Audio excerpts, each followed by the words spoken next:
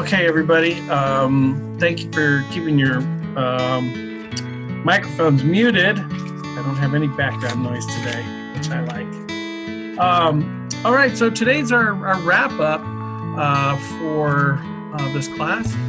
Seems to go by very quickly. Um, five weeks is hardly enough time to cover everything, and the nature of online classes. But I did want to say, um, first and foremost, thank you for participating, um, uh, and thank you for for uh, submitting your projects on time.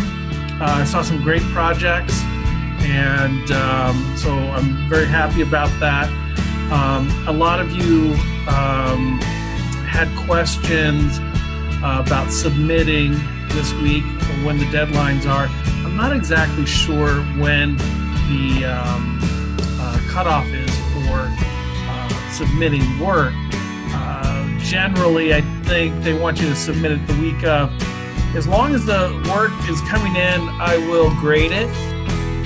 Um, I don't tend to um, grade for late things if you have something in your life going on or whatever. And so I hope that you'll excuse me if I don't get back to you right away some of the emails, which um, I was a little bit late on. So uh, uh, forgive me on that. Uh, I try to get back to everybody as soon as possible, but uh, sometimes uh, life gets in the way, work and so forth. So um, I do appreciate all the um, participation, and and today um, is a is a great day to sort of wrap up and ask any questions you might have. Uh, so um, I'm going to open the floor for questions at at this time, and then I hope that uh, some of you will um, share your projects with um, with the other students. And I have a list of people that I'd like to call on, um, and uh, if you were able to, then um, um, you know that'd be great. So let's go ahead and uh, open up um, the discussion for any kind of questions, either related to the project or anything in general as far as the class goes.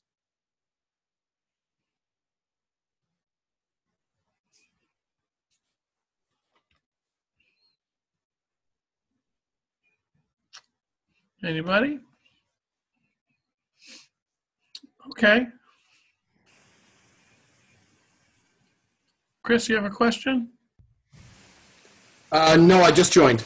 Oh, okay. Your microphone's on, so I saw. That's okay.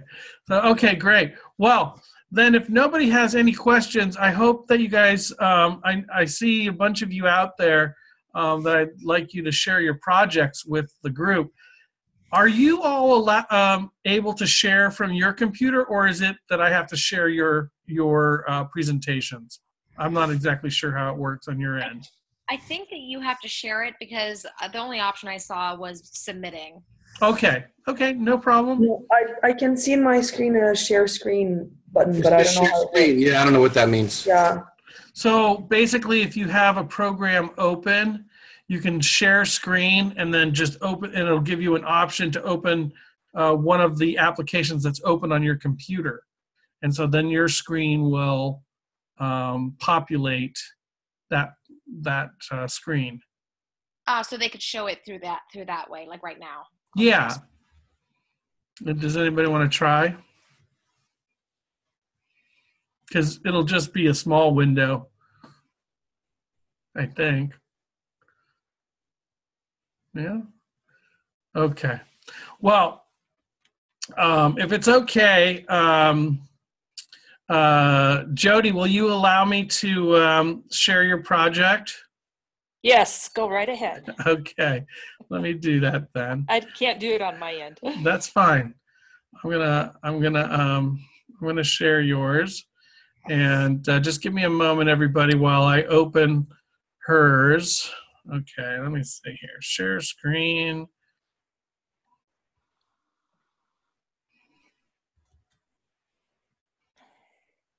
Okay, oops.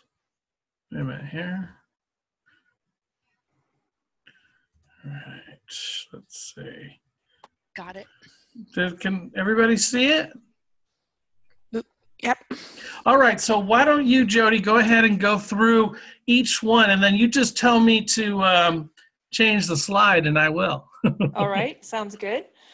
Well, first off, I just, this is the opening page and it didn't carry through all my font effects, it looks like on this for some reason.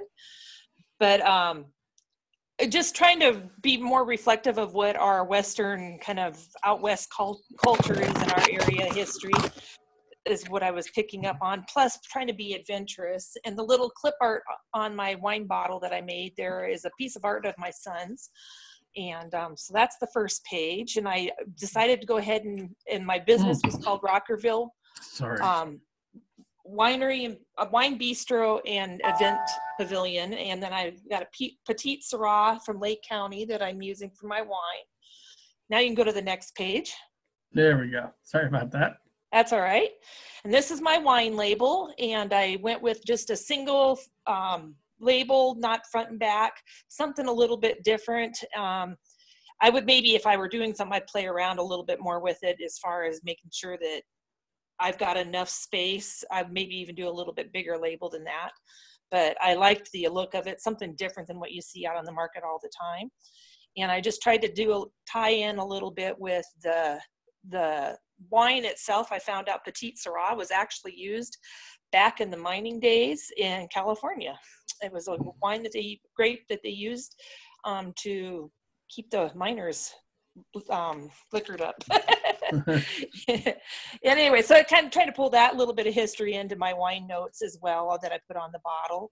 And um, I've made wine labels before through my other job, and um, so this is kind of fun just do something that I wanted to do and not have anybody else's input really. Can I ask a Um, question? sure, go ahead. So this label is designed for a claret bottle? yes, Yeah, so it's straight up and down. right. Okay. Just like the bottle that's shown on the front. Right. There it is. Okay. Should I move on? Yeah, go right ahead. Okay. and I s- just the production side of it, I had a hard time being out here in the Midwest getting people to want to talk to me and take me seriously. So it took a little while to find somebody that was willing to give me some information for crush, custom crush, but I sourced my grapes out of Lake County and um, this Petite Syrah. Petite Syrah has got a history of being a great grape for um, aging, and I thought in this business it would be a good grape just for if you're starting out as a new business, one that has a, a lot of shelf life to it and um, it's got a lot of tannins to it and it's got a lot of ageability. So it, it's got a long time. It it can be a little wild on the front side, but I think there's it's coming around in the wine production industry that it's it's um getting to be a better wine all the time. And I particularly love Petite Syrah, so that's kind of why I picked it. Um, Bin to Bottle is the custom crush facility that I used, and they did an all-inclusive crush for me. And um, there were a few ed- extra add-ons that I did, but uh, otherwise they were able to do. I was able to rent oak barrels from them, and I decided to age the wine for 20 months. Um, the barrels were a second use, and they had a light toasting, and the type of yeast to use was a, a, one that brought out kind of enhanced the flavors, smoothed it out, um, made it a little bit more silky on the palate, taming some of the, the tannins that are in Petite Syrah. And then um, Container and Supply had a good deal on bottles and corks and caps. And so I just kind of went with something that was not very high, not real expensive, but trying to keep the price down a little bit on the wine itself. And because it wasn't cheap shipping it to South Dakota. Yeah. And then I did a shipping bid. Kind of, I don't know if you've ever seen the show um, Shipping Wars, but it's a uShip thing where you can get people to bid on your shipping. Ah, And I, I looked into that and I got a couple people to bid on that for me. And so that was kind of fun to check out and see how that worked. And then I went with Maverick labels, and that's where I came up with the um, five and a quarter by three and an eighth inch um, label and did a horizontal design on that with a matte litho paper with matte print. And um, so you can hit the next slide. And then this was my wine brand cost spreadsheet. And um, I was able to get my grapes for $1,600 a ton, and they were not very far from the crush facility, so they threw in the, the transport of the, the grapes to the crush facility in that price, which was uh, pretty awesome. And then um, I was able to get that all-inclusive custom crush for, oh, it looks like about, read my writing here, $3,430 a ton. And the, the winemaking, I was able to add on a little bit of extra things to it in the process of making the wine, an extra, um, some extra lab work, and I was able to um, have them do a little bit more to the wine. It's through time over the 20 month period. And then um, having the shipping I got, I got $1,199 for the shipping from California to South Dakota on that uShip. Um, I was able to rent those barrels for $800 or a barrel. And so with all, I had to have eight barrels. And so I um, was able to get those for 6,400, which was about equivalent to buying barrels. If, if I were doing it, I probably would be making my wine and making, aging my own wine and would have purchased the barrels. But when they're doing it for me, that worked pretty good. And that included the 20 months of aging in the price of the custom crush too. So that was a, a good thing. And I did my own design on my label and ordered it myself, so that was no cost. And um, I listed again all the places I got everything from. And um, end up my net profit was uh, $29,752.18. And I guess you can go to the next page. And this just gives you the story of my narrative of what I did in the process and finding my location. Um, we're tucked in the Black Hills of South Dakota near Mount Rushmore. And so found this spot that's kind of halfway between our big city of Rapid City, which is nothing in comparison to California, but it's um and then the up in the hills where Mount Rushmore is and all the activities and things are at. And so that's where I decided to base my business out of. And it's a great, I mean, about three million people pass through there in the in the mostly the summer months. We've got a lot of different activities, so it's kind of a place that draws people in from all over. And I tried to tie it in the little town that it was in, that I put my business in. It was an old mining camp. And then it became kind of a, a kitsch tourist town in the 50s. I went there when I was a kid in the 70s, panned for gold there when I was a kid. So I thought bring that flavor back with a, some sluice boxes, draw people in, make it interesting, and also turning it into an event center to bring people around. Um, and then that ties in with the Petite Syrah and the mining theme, trying to, that kind of pulls the story into the wine. And then also, um, where I went and I got those grapes was from that bin to bottle in Napa um, for the crush and mate winemaking. Um, the progression of the wine started pressing the grapes with enough time to get enough of the inky color, but not too heavy of tannins. Um, I um, did that second run on the American oak and aged it for 20 months. Um, for bottling, I chose an antique green dimpled Bordeaux wine bottle with a standard um, natural tapered one inch cork, no imprint on the cork, and then a gold shrink capsule embossed with a, a grape imprint on the top. Um, the labels reflect the outdoor adventures for the picture, um, placed a, the label on the bottle and just kind of did it. For a first time run, I figured I wouldn't put a ton of money into the label, so that's why I did that.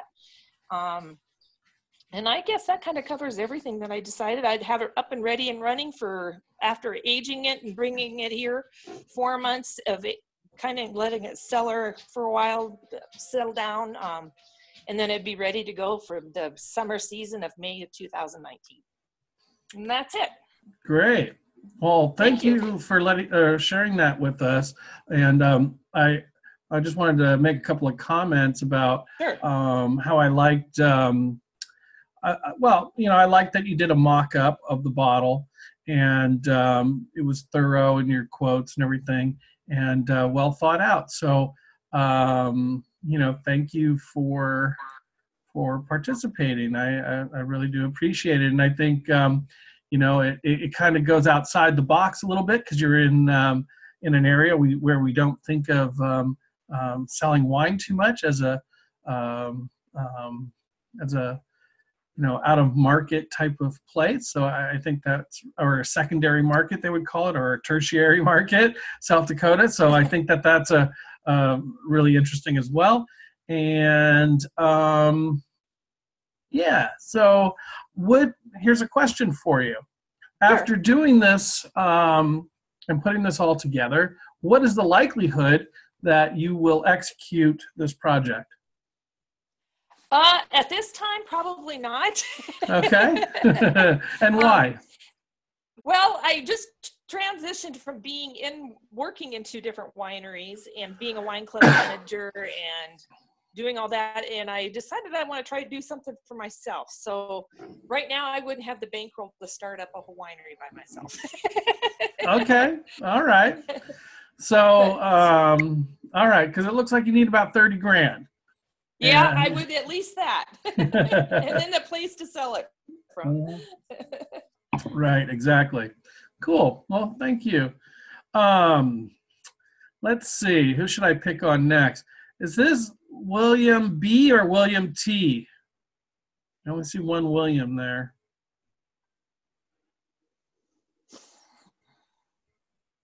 William T.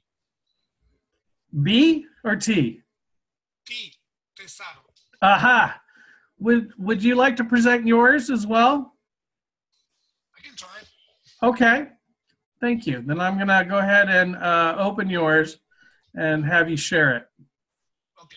because it is also a little bit um, uh, different from um, uh, you know coming from a European perspective. So let me just open it and let me share. Um, where is it? Here it is. And I'm going to do that. Okay, go for it. Okay, so um, my project was uh, was done in uh, in Ticino, which is uh, southern Switzerland, on the border with Italy. Uh, there, the the main grape uh, grown in uh, in that area is is Merlot, and most of the consumption of local wine is is basically only Merlot. So people drink only that kind of wine when it comes to internal production. Uh, the production uh, of the of, of the whole Swiss doesn't cover the consumption. So uh, usually it's not very a big problem to, to sell the wine you produce there because uh, the, the personal consumption uh, is um, one of the highest of Europe and uh, the production is very, very low according to that. So from the, um, I would say, market point of view, it's not very dynamic, dynamic area. So basically, it's not worth to go and and try to to find something new there because uh, most of the time people just try, but they they go back to their own uh, old school, let's call uh, Merlot. So the the breeding for them is uh, is more on Bordeaux style, and uh, mostly all the wineries produce uh, Merlot in a Bordeaux style. Uh, no one really tries to go out of the of the path, and that's because basically it's kind of can be a problem to, to sell it because people don't don't don't try to, to go for something different, which is uh, uh, if it is produced in uh, in. So that's that's why in my project I choose also to, to go for um, for a Merlot. Also, the production of grapes in the area is like 85 to 90 percent mainly Merlot. So it will be even more difficult to find grapes to, to start a project like this if it's not Merlot. Okay. Uh, for the kind of wine I wanted to, to produce, I thought about the Riserva, which for us uh, means uh, at least 18 months of aging before uh, going to the market. And this is because, first of all, is the, um, the most common wine drunk in a restaurant. and also because there is a very different perception from the client point of view when it comes to pricing. If you go for a Riserva, you can charge uh, prices from 27 to 37, this to the to the restaurants. And um, if you go for a normal uh, normal um, inox um, inox, uh, sorry, if you go for a normal production, so only in, in inox, the prices are very low. We go to from 17 to 25. So since we had only three tons of, uh, of grapes to work on, I thought that uh, with this kind of um, segment of pricing, we would be able to, to have a higher income. Also because um, once I got the prices from the from the cu- custom facility, I saw that there was not a huge difference uh, on uh, on the price for the producing uh, between the, the two the two options. So that's why I chose to to go for the for the reserve, which in my case was um, 12 months of aging in uh, French oak barrique and uh, six months of aging in bottle. That's because uh, before going to before going to the market. The the price in Swiss of the, the price of the grapes in Swiss is set by the um, the state. So every region every year uh, pick up the price, the average price, and then you pay according to that. And in this price is included also the, um, the taxes. So that was not very, very hard for me to, to find it. I just had to, to send an email and they replied me last year that this was the price. Now for 2017 is not set yet. Uh, I think it's going to come in the end of the month. Then what else? One little problem I had with, uh, with the um, spreadsheet was that uh, for us the taxing method is quite different. Uh, you don't pay taxes on on the volume of, uh, of wine that you produce. You pay only on the net income you have at the end of the year. Ah, So I had to make a little adjustment to that. okay. Big deal. Um, what else?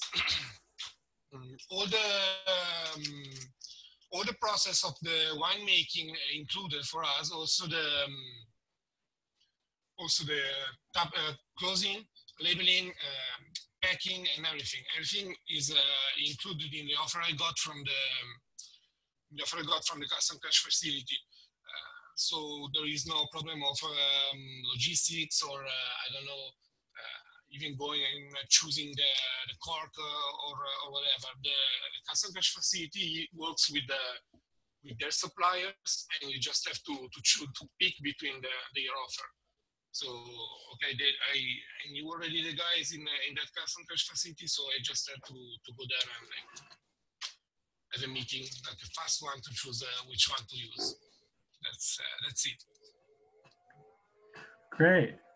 Well, um, yeah, so thank you for sharing that. Um, I thought it was very interesting presentation, and that's why I asked you to uh, share that with us because I think um, you know the approach is a little bit different, but uh, certainly it was uh, well thought out, and um, I like how you included the maps um, where where the um, grapes were uh, being produced, where the custom crush facility was, and it seemed very well thought out. So, um, thank you very much for sharing that with us.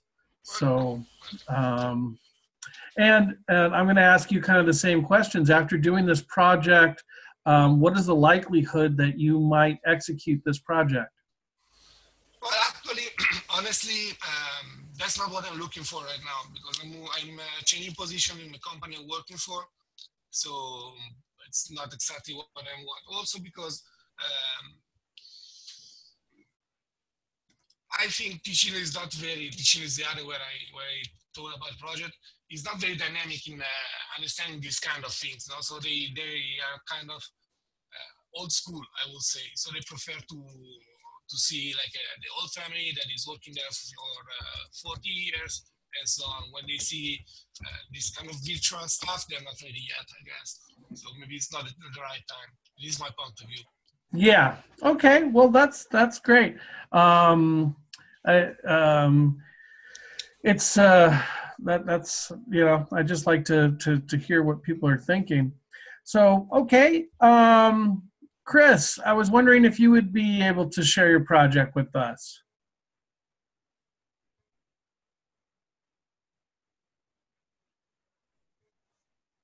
Yes, I can once I unmute. Okay, very good. Let me let me open it. Okay. Oops. Sorry, I have a hard time um, with this program too. Yeah, well, I can't get it to uh, tonight show myself, so I don't know what you guys see. So I can see you. I have clothes on. Good. Well, you know, I think, um, well, you know, I think it's funny because I see everybody, and uh, I don't know if you guys see everybody, and uh, you know, I think one night Alex was dancing, somebody's drinking wine, somebody's in a restaurant. It's it's very um, entertaining. and here I am in my um, my my living room, but I'm I'm blacking myself out today because, uh, yeah. Anyways, all right, Mr. Mangler, go for it, and I will just tell So me when uh, to do. Tell me when to um, change the slide, okay? Right, so you see my logo, go right to, you can go right to the next slide. So this actually, uh, this label is actually a, uh, this is a TTB approved label. Uh, that took a lot of back and forth with the, uh, with the TTB to become approved. Um, I thought it was interesting to discuss a little bit because the label on the left, which is obviously what anybody would consider the front label, is actually the back label. Uh, because there's no wine information on the label. So I had a, a lot of back and forth with the government. Um, and I learned a lot about what can go on a label and percentages of grapes and this and that. And I'll, I'll talk about this a little bit more later. But uh, you know, this particular wine is kind of our signature wine. It's a field blend of 18 different varietals. Um, and it's virtually impossible to list all of those varietals on a wine label um, and with the government. So I kind of gave up a little bit. So you can see the front label. I wanted it to be clean and kind of uh, convey that it's a premium wine, and it's a it's primarily a Zin plus Primitivo is about 84 percent. And I'm trying to convince people to spend a lot of money on this wine. And Zinfandel, I didn't think could command that premium price, so I didn't want to label anything and keep it really clean and um, and exclusive on the front label.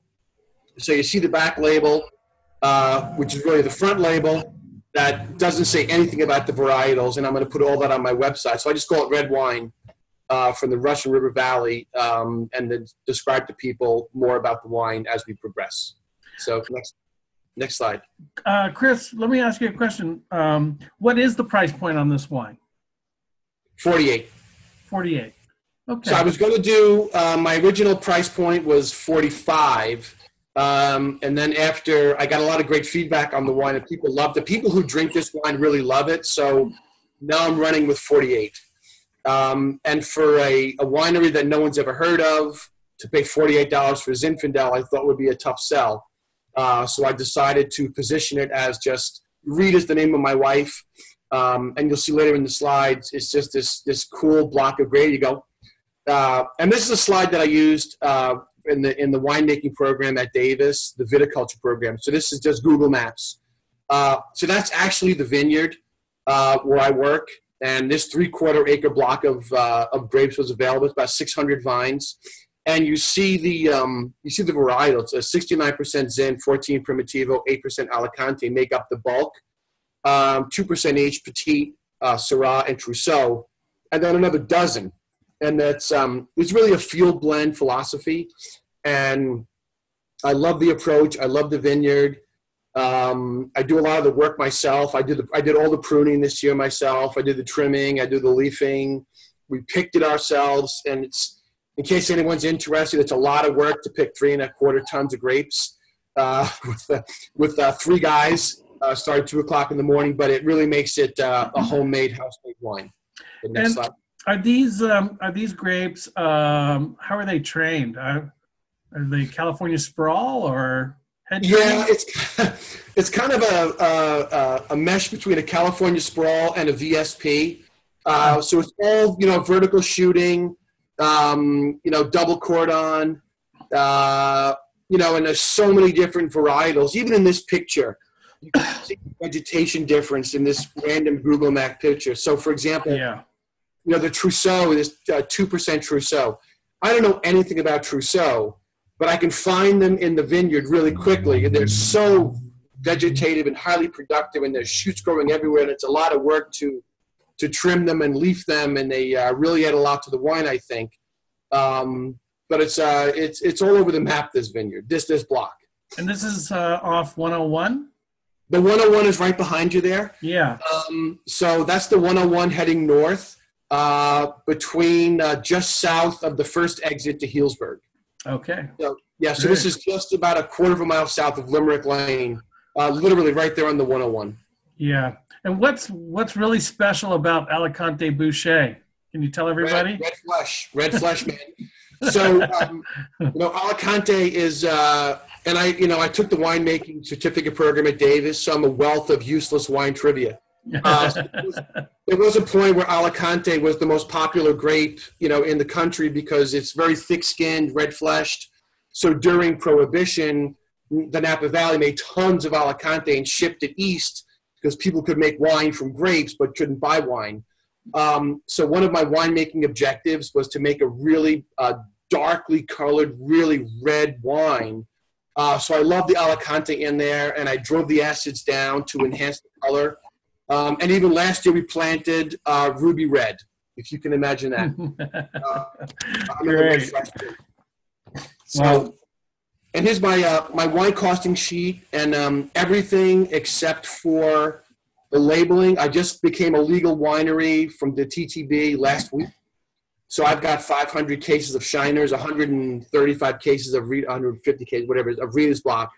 Um, so everything on this sheet is an actual cost, except for um, uh, except for the uh, the labels, which I estimated from MC Label. So you know, at uh, at nine ten bucks a bottle, you know, this is expensive.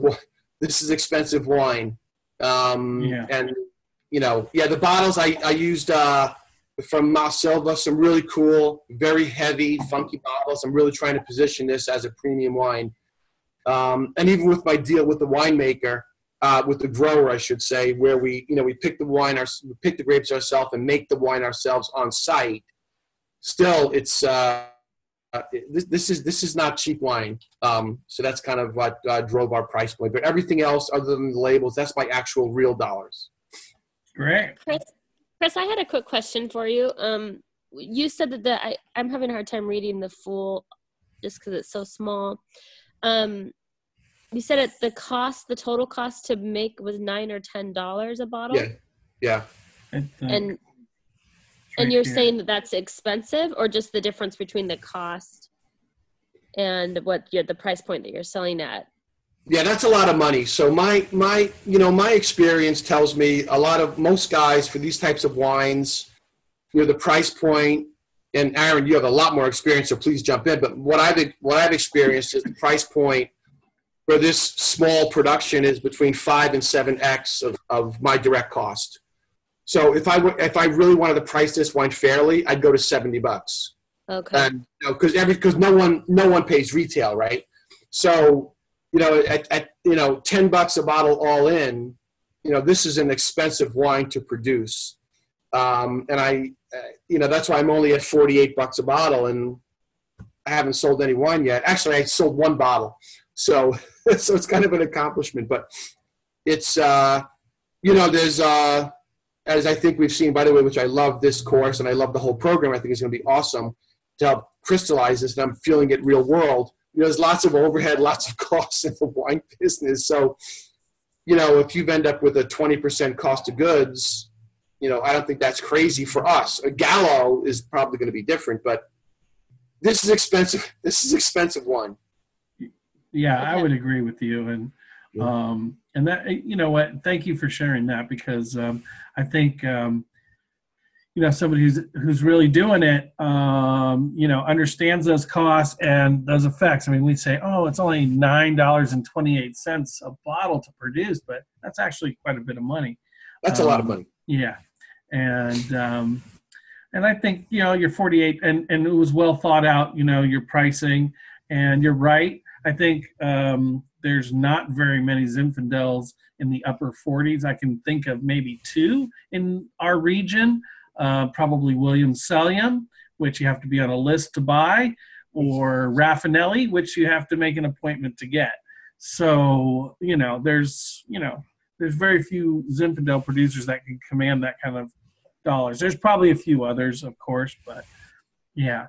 But um, thanks for explaining uh, the Alicante because um, I, I I love uh, um, I love that grape, so it's uh, it's always fun. So I'll go to the next slide.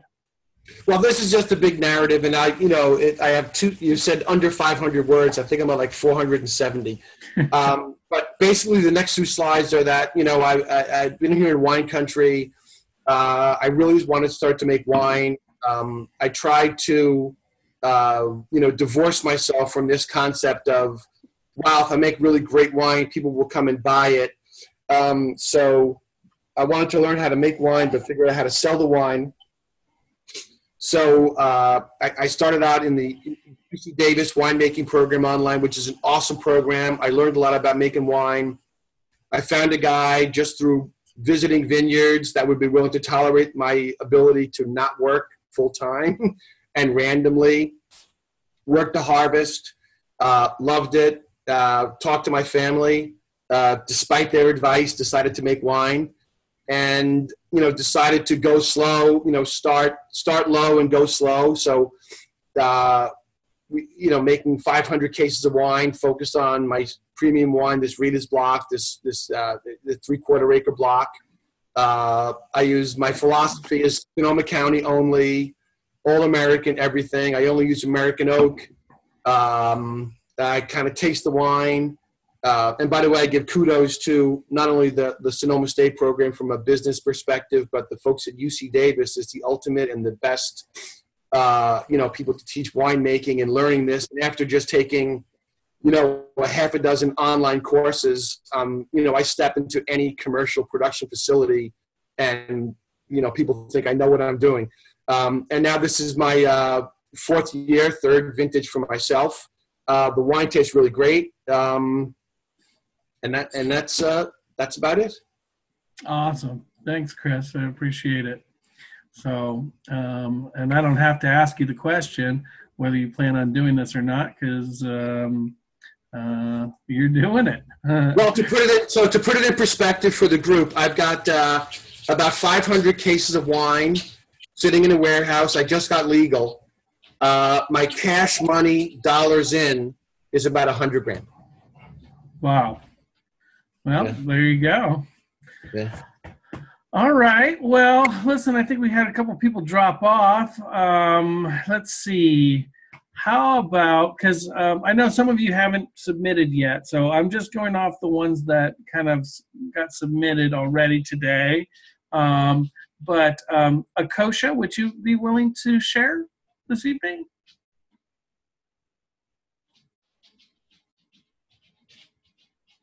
Um, there- we go. Um, I figured out the mute button. Yeah, I can mute you or unmute you too. So there we go. okay, yeah. Um, I'll give it a shot. You give it a shot. All right. So let me uh, let me pull it up here. Okay. So I got to go to my folder. Hold on one second. Um,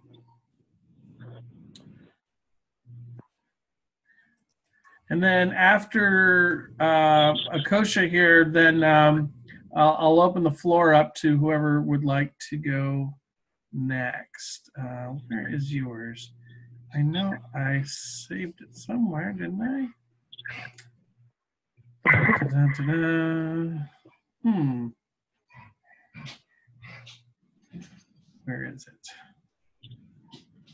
Uh, If we have hold on one second. Hold on one second. I can find it. I just um, let me um, let me just go to. I don't know why it's not in here, but I'll play the elevator music. Do, do, do.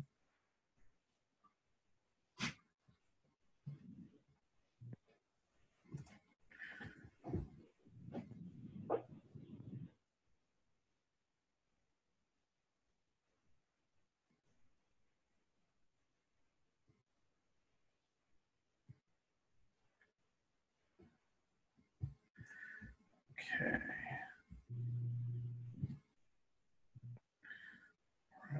see.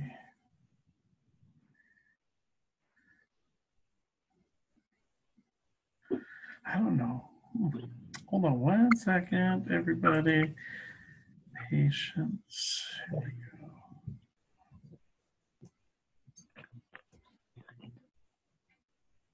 go.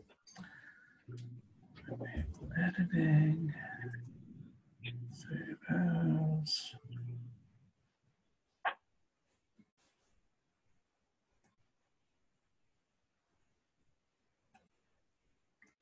Someone watching this on YouTube is going to be like, oh my God, get on with it. Right? Okay, hold on. Um, I'm going to share the screen now. Hold on. Mhm. Yeah, right. Okay, where am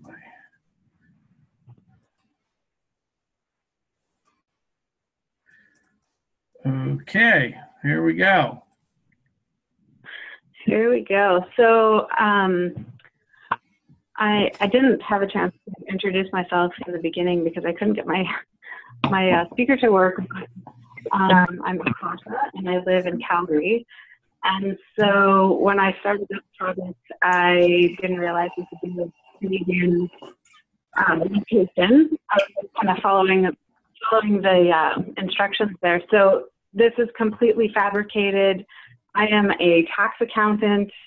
I have no idea anything to do with the wine industry, um, other than that I enjoy drinking it. um, my husband and I are sort of planning for our future.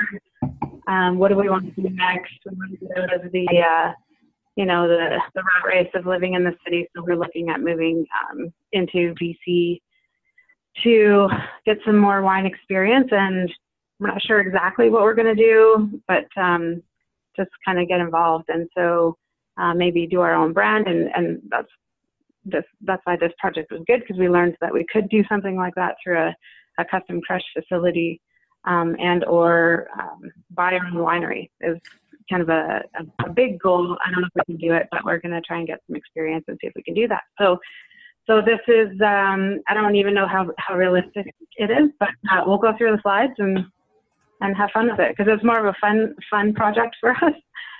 Um, so we went with a very casual um, feel. We, we love the mountains. We love to snowboard. And so we're going with this sort of uh, freewheeling, we're going to put uh, the same passion that we do into snowboarding into our winery, and so we can share our wine with other people like us. So that's basically um, our thought, and we'll do some funky. Oh whoa! Oh, sorry. You want me to go back? Yeah, no, that's fine. Uh, the picture got all crazy. So, so we went with a Pinot because we um, we selected Washington because it's um, we're, we've been trying some Pinots from, from the area and we really enjoyed it. So as I said, we're uh, it's fabricated. So we thought we uh, we selected a custom crush facility uh, in Walla Walla, uh, Pinot Noir from Rattlesnake Hills, and thought we would um, try and sell it uh, downtown Seattle. I know that uh, a lot of people questioned um, cost on that, and I, I get that it would be very expensive, but we thought that would be a really fun thing to do to have the urban winery. So um, yeah, so then there's the Artifex Custom Crush Facility.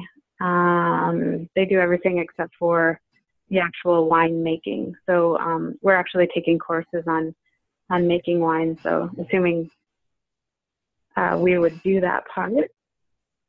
And then if you want to go to the next slide. Uh, just doing some research on um, bottle selection for Pinot. So we went with the burgundy shape um, the antique green with the high UV protection, um, a dimpled bottle, just to give it, um, you know, we're going with that $25 mark. So we, we wanted to have of a, a more quality um, looking bottle, like a heavier uh, quality bottle. So we went, with that. And then if you go to the next slide, uh, we decided to go with a cap, um, just again based on the research that we were doing um, and we've we've had a few um, Pinots that in that you know 20 25 to 30 dollar range if you put a nice cap on it um, still still had a good feeling of quality and so and also because we we didn't feel like we needed to age you know as long so we went with a cap um, for cost reasons and for the cork cork taint issues as well Yeah, uh, our cost summary is we we had trouble actually getting costs from any custom crush facility. I don't know if anybody else had that problem, but we had a ton of responses back. We we ended up sending emails and calling all kinds of facilities because we couldn't get um, information out of Artifex. Um, and they were all like, no, you're too small, or no, I can't share costs with you. So um, this is a, a combination of costs that we sort of put together. So um, I think we came out at, yeah, 11 bucks a bottle, which is probably high. Mhm. Yeah. um, especially yeah so Okay. um yeah and then i think we have a label on there yeah so we're going uh as you can see definitely not clean and simple and elegant like chris um, and then uh, and then the fun funky back so yeah just to go with our sort of snowboarding snowy kind of Yeah. Yeah. Well, cool. I um and I asked you to share. I asked you to share because it was different from um, a lot of the other submissions, and I want to and and not saying different in a bad way, saying different because um, you know you're choosing grapes from Washington. Um, you're doing a little bit more um, kind of appealing to a younger crowd. Um, so uh, you know, I just I thought that um, it was a nice approach and it was refreshing because I think we need to see everybody's sort of different range of work, and um, and so I'll ask you. So, uh, is this something that you would um, consider doing in your life or not? You know, um, I was a little bit resistant to it at first, I guess, because we we had planned, you know, to move to BC, but my husband is American, so uh, we ha- we do have that option to go down to the states. And as we learned more about Washington, we actually, you know, kind of really liked it. So it's definitely something that we are going to think about a little bit more. So we're definitely, I think, you know, um, we've decided that we are definitely going to get into the wine business. We just don't know exactly uh, what that looks like right now. So Okay. definitely learned a lot in the course. Um, and uh, yeah, it, it's really good to have all the resources now to really sort of get a feel of what the business is like. And we, we just, uh, we were in um, the Shuswap, which is in the interior of BC last week, and we went to a winery and I talked to a guy there and sort of had a little bit of a, a tour. So yeah, just, just getting, gathering our bearings and seeing if it's a realistic thing. Well, just remember, um, Trevor over there is from BC. I don't know. He's up in the Yeah. upper upper uh, corner. while he just stepped away. I saw one of his kids run through. But um, remember, he's up there, and there's uh, I don't know how much you know. Definitely use the uh, program as a networking tool, and um, you know if you can. Absolutely. Yeah, absolutely. Yeah. So good. Well, thank you so much. Great. Um, Yeah, thank you. who else would like to share tonight that's submitted? I've I've uh, I've uploaded all the. Uh, how about Steve? Do you want to share, Steve? Are you even there, Steve? I'm gonna unmute you. Hello. I'm here. I'm here. Do you want to share? Sure. All right. All right. Let me uh, let me pull it up. Uh, let's see. Steve, Steve, Steve. All right. Let's. Okay. Let me X out of this one. Share screen. And. Ta-da. Okay. Take us through it, Steve. Well, I, I picked a name having to do somewhat with the area that it's in. And as you know, when you try to find a name that hasn't been used yet, it's a little bit difficult, uh, not just for wine, but for anything. So this was one that seemed appropriate, and um, it also reflects the area. Uh, I am very poor with. I had knew nothing about using PowerPoint, absolutely nothing. I'm terrible at it, and so are my graphics. So I used Word with this. Couldn't get exactly the pictures I wanted, but I picked something. This is Mount Shasta in the background, and it's in the area up where the winery will be. Uh, looked at, uh, there's a few different places that I bought grapes before. Lodi is one of them. and it seems to be a place where the grapes are good and the price is not too astronomically high. But uh, shipping is a factor. Um, I'm getting off track a little bit. This is the label right here, and front label. And uh, I forgot who it was that said that he just got labeled. Maybe it was Chris, but he's absolutely right because when you start dealing with the TTB, they will find just about anything possible they can on why your label's not right. And the next time you send it in, you can get a different reviewer, and he'll have he or she will have different things that they don't like about your label. Mm-hmm. And they may even contradict some of what the first people said about your label. So anyway, it's really an experience. This one is not set up to scale or anything. It's just like again, my graphics are poor, but I used Word, put something together, tried to have all the pieces on there, front and back. Um, you're required to have the warnings about all sorts of bad things that can happen to you, and it's official what you put on there. So, And- Steve, can I use this as your label label um, submission Uh, what is my label? For your label uh, submission for the last week or whatever it was? I'm gonna. I'm just gonna credit Oh, you yeah, this yeah. one. Oh, yeah, yeah, that's yeah, yeah. When I submitted last week, I didn't have a picture. right, right. It was preliminary, so Yeah. I'll, I'll consider this the final, and I'll I'll backtrack. Thank you. Okay. Okay. Um, as far as the uh, the location goes, it's just a small rural town in Northern California. But uh, I did find out one thing that I thought was kind of cool. It's as far north as I think anybody's got a winery location right now in California. You can't get much farther north and not be in Oregon. So I thought that was pretty cool. And uh, what else did I say on here? Uh, the varieties I picked out a while ago, and they're my own preferences, but um, uh, the um, Cabernet Sauvignon, Tempranillo, Cab Franc, Mhm. um, couple of whites. I got a couple acres up there. It's not enough for a vineyard, but uh, I would like to try and grow something at a point. I've actually tried a few things up there already, but not being up in the area, they usually die in the winter because it gets too cold and there's no one to really baby the vines along a little bit. They need to have a spray set up on them. But uh, a couple of them are supposed to stand up in the cooler weather. The Gewürztraminer and also the Chardonnay might make it through. The new one I talk about, uh, I pronounce it Norette, and it's a hybrid grape. Uh, it might be pronounced Noré. I'm not sure that. I've never heard anybody say it yet, but it's noted for having uh, being similar to deep, deep and dark, like a Cabernet Sauvignon type of a grape. So I'd like to get some of it going. You can actually buy it now back on the East Coast, but I haven't been able to get a hold of any yet. So what else? And oh, uh, had some fun with the spreadsheet.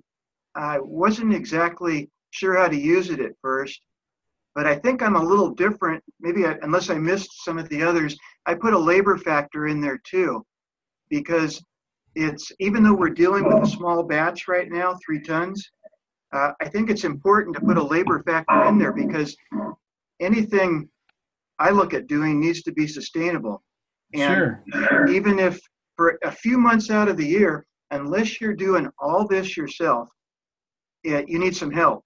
Um, as I don't have to, I'm just going to say it briefly. Everybody knows this. Everything you deal with is heavy. A full barrel weighs about 600 pounds. You have to lift it. You have to move it. You have to rack it. You bring your grapes in, and even if you ferment them in the bins that you bring them right off the field in, you know, the thousand pound bins, um, it's some work to move them around. It's some work to crush and destem. It's some work every day to punch them down. Um, and if you don't happen to have a carbon dioxide fan, you got to move all the smell out. Even though you like the smell, you're in there too long in small quarters, it will knock you out. And and then when you after you're done with that, you've got to pre- press them, and put it in barrels, and you just keep them moving. But it's a lot of work for a couple of months.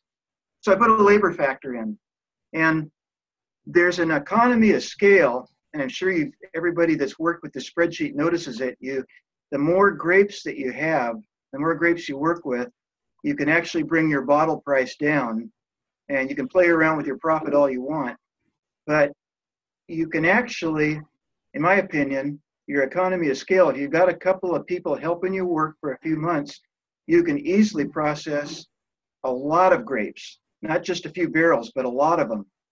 Um, big factor, as you all probably noticed, is where do you get the money up front to fund all this madness? Because uh, the grapes that I've seen, I think someone mentioned, I think it was, um, might have been Jody at first about getting some grapes about $1,600 a ton. I think that's pretty normal. Uh, I know on those wine, uh, the crush report we looked at, I saw some really cheap grapes on there. I've never seen them that cheap. Um, so I think 1600 2000 a ton is probably a normal cost for most of them. And anyway, this spreadsheet, I worked it out. Uh, what did I end up with? About, um, I can't see my own stuff here right now, but it's uh, about 25 bucks a bottle. Is that what I have on there, Aaron? 25? Yeah, yeah. Yeah. Is pretty high. Yeah. Well, I, I, I know, I know, but but look, but look at the costs. I mean, Yeah, I've got sure. utilities in there. I've got uh, labor. Um, I don't know. It's it seems to come out that way, and uh, don't Yeah. know what to do. All right. Well, well, I um, I wanted to in, um, invite you to uh, share because um, one of the, one of the things that I thought was fascinating about your project was um, that you added a, a future story. Um, you know where the winery will be five years from today, and I'm on that side now, and um, uh, so I thought that that, that was interesting, and um, so I, um, so you know, I wanted to invite you to say something about it. So thank you very much, Chris, for for sharing with us. And um, uh, I know that some of these these programs aren't easy to work, but you did a fine job. So, anyways, um, I guess you know we're getting to the uh, seven o'clock hour um, I would encourage you guys to, you know, take the next course, um, uh, the second, the, you know, the second uh, um, uh, class in the series. Patrick Baker teaches that. He's um, he's quite a sales guy, so you know he's more on. Um, he's definitely um, in, um, interested in sales. Um, I know him in the industry. I've run into him in a number of different capacities uh, over the years. Um, so, you know, check out his class too. Um, again, I want to thank you. And if you haven't turned in your stuff yet, then uh, try to turn it in as soon as possible. Um, I am going to be taking my computer uh, with me. I'm going to go on vacation next week up to Washington State. I'm going to leave tomorrow. So um, I will take my computer with me so I can deal with all that stuff. But everything that's been submitted has been graded. Um, if you see something that hasn't been graded, send me the link. That's my easiest way to get there because a lot of the discussion groups and things like that, sometimes I miss it or sometimes somebody will add a comment after I've gone through it. So it's it's hard to navigate from a from my perspective, um, but not impossible. Um, so if I miss something, let me know. Um, if you're not um, uh, totally satisfied with your grade, you can email me privately. We can discuss it. Um, though I think if you turned in everything, um, you know, uh, grading was it's more about participation and um, getting you the information that you need um, in order to start a wine business. So, um, again, thank you so much for um, uh, joining this class and participating. Any more questions before we wrap Uh, it up? Aaron, I just did want to ask you a question about the next course. Yeah. With the fee, do you know if there's um, any reduction with the early registration or anything like there was in the foundation course? Mm. Canadian dollars, you know, is much different for us. Well, that's a great question. And I have to tell you, Trevor, I'm totally ignorant to the actual cost side of things. Um, you know, um, I've never taken a class online, period. I've only taught them. And from that perspective, I guess I should probably find out in the future because, I mean, people are going to ask these questions. I'll Aaron, reach out to the Erin. She's been very good. Yeah, Um, yeah, yeah. She's she's the master. And then if there's any problems with uploading stuff, Leong, um, I don't know. Some of you might have had emails with her. She's awesome. So um, I totally lean on her uh, for um, the internet stuff and you know uploading, and she, you know, gets everything ready for me. And she also used to do the same thing for me when I taught for Vesta. Uh, so she's awesome. Um, so if you have any questions about that, um, yeah. So that's please uh, do the survey. They, um, you know, uh, that'll um, that'll be important um, for the feedback on my performance. And you know, go ahead and be as harsh as you want. That's okay. Um, but uh, that's that's always a good thing to do as well. The survey monkeys don't take very long, so I think there's a link at the bottom of module five. So if you can do that, please do that. And Aaron, it's I have a quick question. just Yeah. I wanted to, I I I can email it to you, but I couldn't find your email on the. I looked on the module and I didn't see oh, it. okay. So it's Aaron A A R O N at Vinoptic V I N O P T I C dot com. Vinoptic is my consulting company, and um, you can also. I might as well plug my Facebook page. Um, I have some really interesting new projects coming up, and I try to update, you know, Facebook once in a while. Um, but um, not only the business end of things, um, we're going to be doing some film things uh, around wine and exploring uh, wines of the world and so forth. So um, feel free to join me on Facebook as well. And that's Vinoptic, uh, V I N O P T I C. And if you go to the uh, class page, it should be at the very top next to my picture, my email. So, um, you know, and if you have any questions, even in the future, uh, please go ahead and just email them to me. I'm totally open to um, corresponding and networking with all of you uh, now and in the future. So, Hey, Aaron, yeah. real quick, uh, Napa grapes at over seven thousand dollars a ton compared with other grapes. Uh, and I've heard of some Napa grapes going for thirty-five thousand a ton. Uh, do you really taste the difference? Honest, just really? Um, yeah, absolutely, Steve. Um, there, there is a difference. and so, um, it just, um, it, it, it, you know, there's different areas, different terroir, and um, there's better, there's better dirt in different places. It just that's a that's a fact.